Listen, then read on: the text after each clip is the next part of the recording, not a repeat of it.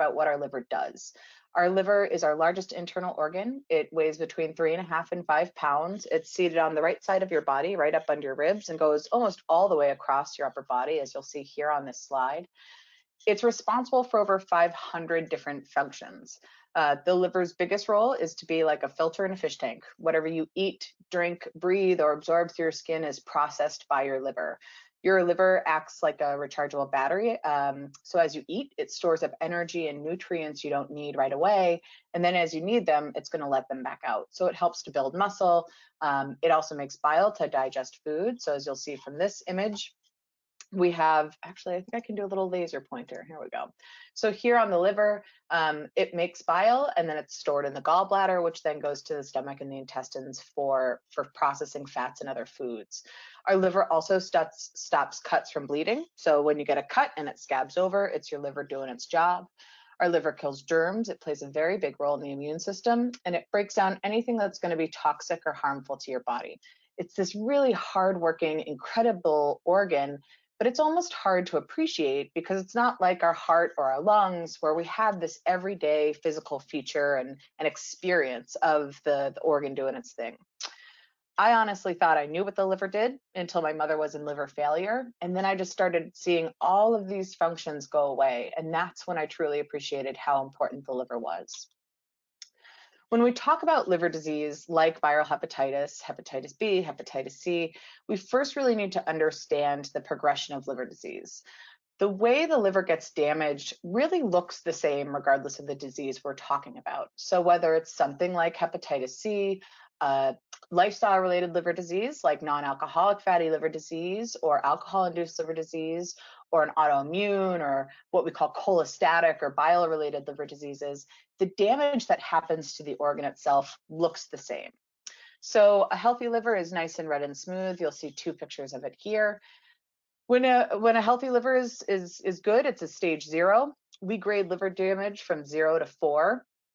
Generally speaking, we need to use either an ultrasound or something called a fibroscan, which checks to see how elastic or dense your liver is. And you can get these clear stages of liver damage. So as the liver becomes damaged, the first step does tend to be hepatitis, which unfortunately is not um, pictured here. But all the word hepatitis means is that your liver is inflamed. So hepa means liver, itis like appendicitis or bronchitis just means inflammation. So first your liver will inflame, hepatitis, and then scars start to form. This is the natural healing process. If you think about when you get an injury or a cut to your skin, first the area kind of swells and then it's replaced by scar tissue. That's the natural healing process our liver undergoes. So first we see inflammation, hepatitis, and then scars called fibroids begin to develop. As someone enters into fibrosis, these scars can become more and more uh, expansive throughout the liver, cover more of the healthy liver cells, and actually replace those healthy, hardworking liver cells. So stages one, two, and three, we're in this place of fibrosis. And the great thing about that is that fibrosis can be reversed. So if you're able to get diagnosed with liver disease in say stage two or stage three, remove whatever that underlying cause is, say it's hepatitis C, you cure the virus, you give your body some nice healthy time, the liver will actually be able to regenerate fully back to a healthy liver. The liver is incredible in its regeneration. We can actually cut a liver in half and get two livers out of it, which allows us to do live liver transplants. Um, but the healthy liver and, and even a damaged liver is able to regenerate and replace healthy functioning cells from where those scar tissues are building. However, sometimes that damage just happens faster than the liver can regenerate. So that's when we step into a stage four or a cirrhosis. In stage four, we are getting to a point where it's going to be tough to kind of backpedal to see any sort of regeneration. Stage four is that point of cirrhosis. The thing with cirrhosis, many people hear it and they tend to think about alcohol, but all cirrhosis means is your liver is extremely scarred. You have more scar tissue than actual healthy tissue.